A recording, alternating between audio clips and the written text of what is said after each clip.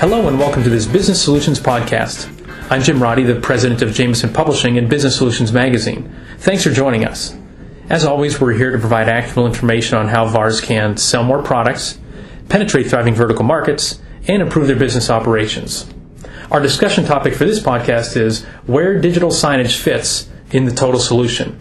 And our guest today to help give us an inside perspective is Kevin Prewett. He's the Vice President of Vendor Management and the Head of Digital Signage Division at Ingram Micro. Kevin, thanks for your time today. Yeah, thanks for having me. Uh, and so we're conducting this podcast interview just outside New York City at the uh, Ingram's Solution Summit, where much of the focus is on resellers adding adjacent technology, so becoming a total solutions provider, something you've heard a lot from us at Business Solutions Magazine. So, Kevin, my first question for you is can you give me your take where you see digital signage fitting in as all these different technologies converge? Yeah, well, it's it's just one piece of a total opportunity today, Jim. It's uh, it very fits very well within the retail environment. So for customers here that are, are comfortable with and have built practices around point of sale, it's a great entry point. If they look around at some of the installs they're doing, there's going to be either digital signage there or an opportunity for digital signage in the future. Got it. And so I was talking with Mark Rochelli uh, earlier, and we were saying folks are servicing, and he's with data data capture and point of sale division for, for Ingram, saying there's something going on eight feet away from him in digital signage, and it ties right in with the point of sale network. Is that really a big opportunity? Yeah, absolutely, uh, it is, and um, there, there's a comfort level there as well. If if that uh, integrator has a relationship and a trust factor built with that end user to be able to bring in another opportunity for them uh, and tap into the resources that Ingram has available, it, it should be another, I don't want to say easy opportunity, but using the resources that we have in place, we can make it relatively painless for them to jump into. Got it. Uh, so you mentioned about retail. Besides retail, what verticals have the greatest opportunities for VARs who want to offer total solutions that include digital signage? Outside of retail, there's uh, quick serve restaurants are a good opportunity, and, and, it doesn't have to be the, the national chains, but even the local local places or, or small chains. Uh, churches, houses of worship are, are good opportunities for communication uh, from a communication standpoint. Uh, transportation is another opportunity. Um, college campuses, uh, or even even other school campuses anywhere where there's a, a need to deliver either advertising and or information delivery, something that needs to be updated and information shared with the group that's around. And the benefit there is that information can be changed at various times throughout the day to reflect the audience that's there. And you and I were talking earlier. A lot of times, these places, all that you mentioned, have posters or signage that they put up. And how many times do you walk in and it says, you know, this special going on through whatever date, and you're like, well, that was a month ago, and nobody's yeah. paying attention to it. Yeah. So again, there's there's an upfront cost, but with the prices that we've seen have really come down and made it an affordable solution today. And uh, I would also tell you that the key is having somebody as a partner that can do a, a site survey and the installation process for you. Uh, as well as somebody that can do the content creation. Content is, is going to be very important. If if you're walking around and, and you see PowerPoint slides on a screen, you're less likely to pay attention to it. But somebody that can create dynamic content for you, and Ingram is able to do that, and we've got partners that are able to do that, as well as the installation and site survey. Uh, all of a sudden, you're going to catch somebody's eye, and you're going to you're going to be delivering something that, that is helping again the business or communication as a whole. Got it. And uh, before I jump into my next question, I've heard a lot of verticals over the years. I've never heard about the church vertical as much, and so we always talk about how far up do you go in the decision making chain. Well, I'm guessing you don't go all the way to the top for the church, and, or maybe you do. Maybe you start off with praying. Um, I'm just curious, like, where does digital signage fit in to that? What, like, what successful installs or successful resellers have you seen who have made money uh, from you know houses of worship, churches? Yeah, it, it, again, it's uh, informational purposes. So whereas you know any of us that went to church growing up, and, and even today, you'll see people that uh, the, the churches hand out flyers and have all kinds of information in there, and then at the end of the service, people leave them laying around, or there's a trash can full of it.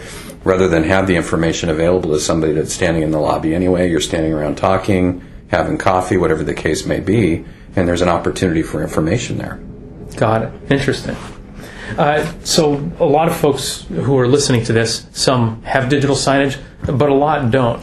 What additional internal resources could a reseller need if they want to make the leap into digital signage. You talked about the uh, services Ingram offers, other distributors offer those as well. A lot of vendors do. Is it simply leaning on those suppliers more, or is there something beyond that that a reseller would need to do?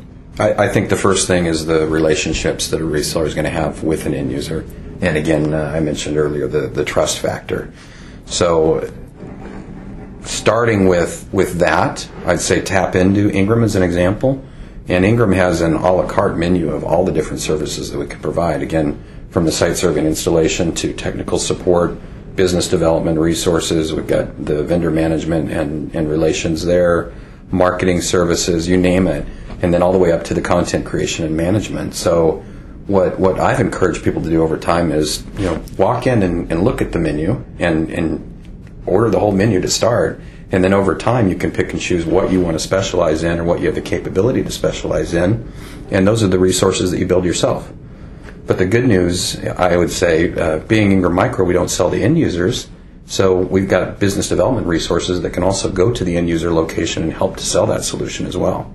Got it. So you mentioned end users at the beginning and the end of your answer, and before we hit the record button, we were talking about end users as well. And so is it really starting there that the reseller needs to get in touch with their end users and say, you know, what kind of things do they need, or really just look around their location and say, boy, digital signage could help there? Does it really start there in terms of doing say a site survey, but really digging into what, what the needs of the end users are. Yeah, I would say even take a step back there, and uh, what again, what I've encouraged people to do is in, install a solution in your own office to start with, even if it's a single screen lobby solution, something to get the ball rolling and get you a better feel of you know taking a step back and saying what is my business looking for, and then taking that to the other businesses that you work with, the other end user locations and and that's where it starts. I, I would say you always want to start with a site survey, and, and we've been able to help customers that thought they needed 100 screens in their location that really only needed 30 to do it effectively.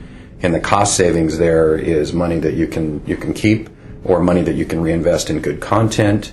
Uh, to update the system over time. There's all kinds of opportunities there, but the reality is go in with the right solution. Understand what the solution is, understand what the objective of that end user is, and go from there.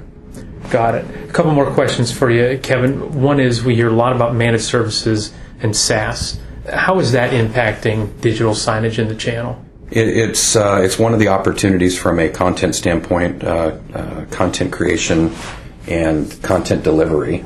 Uh, we've got a couple different options and a couple different manufacturers we work with.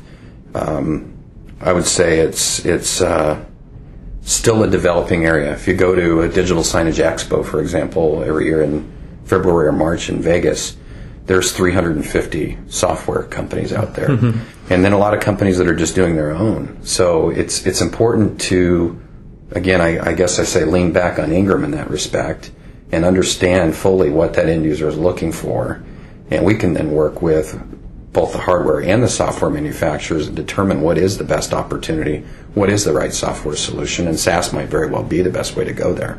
Got it, but it depends on the end user and it depends on the resellers. That really right. comes down right. to. Right. You know, do you want do you want local content or or do you want a SaaS solution? So realistically, I, th- I think I, I, wouldn't say you know it, it, should always go this way or always go that way in a specific end user.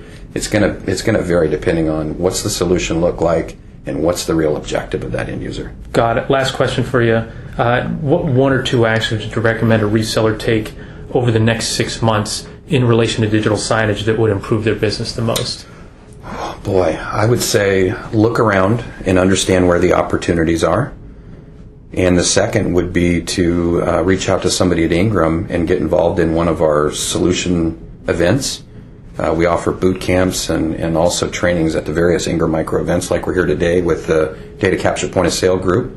And we offer signage specific boot camps, and that's an opportunity to come out and interact with the experts at Ingram, to interact with the manufacturers that are there and learn more about their solutions, and then also to interact with fellow uh, integrators and hear about where they started and what, what lessons they've learned and where they've been successful.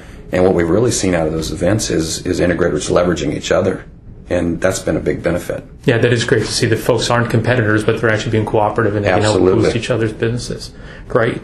Well, that's all the time we have for today. Hopefully, our discussion has given you some good insight into digital signage and total solutions and what it's going to look like uh, heading forward.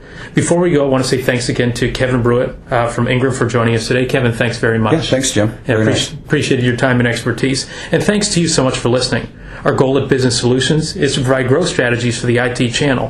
For more information, please visit our website at www.bsminfo.com. Thanks again for listening, everybody.